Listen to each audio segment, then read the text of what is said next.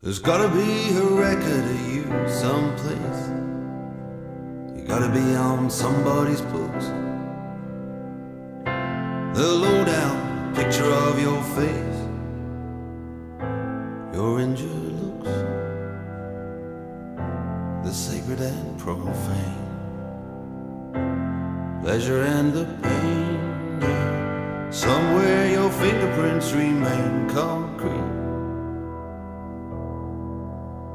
And it's your face I'm a looking for on every street.